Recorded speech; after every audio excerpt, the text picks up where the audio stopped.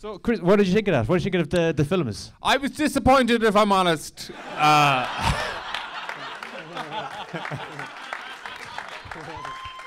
I had heard a lot of good talk, and uh, no, do you know what? I was I was so incredibly impressed, and as uh, anybody who was sta- uh, sitting around me would know, like towards the end, I got, and even now, I'm feeling a little teary. Like.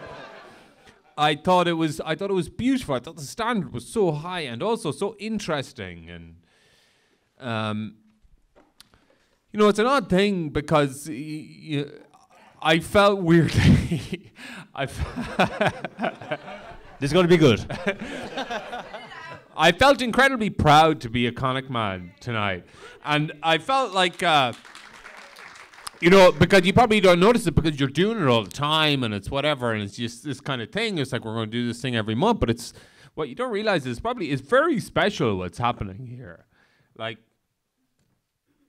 there's some beautiful films being made and there's some big choices being made and some good sketches and some good gags and all that kind of stuff and it's all very honest. It all comes from a place of uh, well, what what can we do here? That like I, films are great, but you know they can kind of turn into commercial beings very quickly, and uh, I've been part of a lot of those, and and so when you see something that's just unequivocally artistic or unequivocally interesting or uh, personal, it's it's quite striking.